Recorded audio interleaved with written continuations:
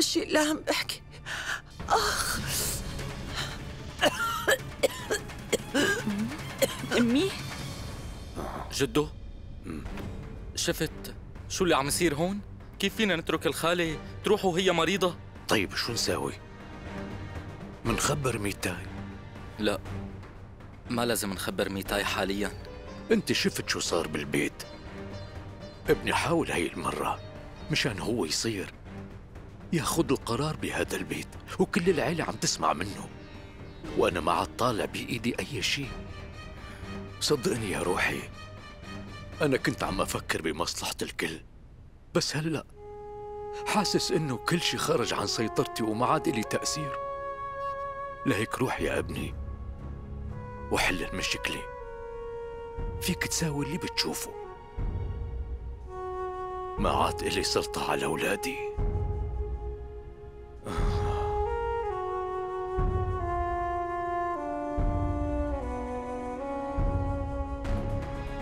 جدو؟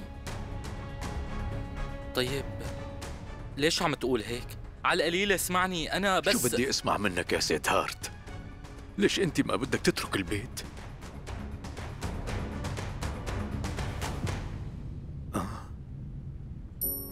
إيه أنا رايح. أنا رايح لأنه في مشاكل ما إلها طعمة عم تصير هون. أه. حاليا كل واحد بهي العيلة عنده مشكلة مع التاني. وبالآخر بيتظاهروا إنهم مبسوطين. بس بكل صراحة ما حدا بيعرف شو في براسهم وهذا قالقني خلص ما عاد فيني أتحمل يا جدو ما عاد فيني أتحمل. ابني حتى بعد ما تسافر ما رح يتغير شي بهذا البيت. وأنا أكيد بدي ضل عايش هون.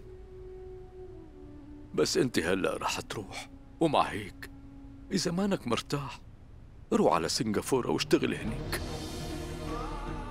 كنت بعرف إنه جدي رح يزعل وقت يعرف إني رايح على سنغافورة. بس جدي زعل كتير ومبين مقهور من قلبه.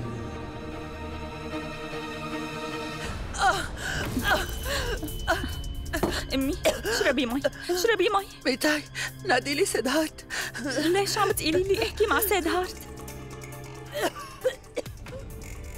أمي خبريني؟ شوف خالتي. أمي شو صار؟ شو بكي انت منيحه ألو دكتور؟ لو سمحت تعال بسرعة. الخالة رجعت انتكسة خالتي. امي شو بكي خدي هذا الدواء. امي شو صاير معك خبريني رجاء يلا خدي يلا.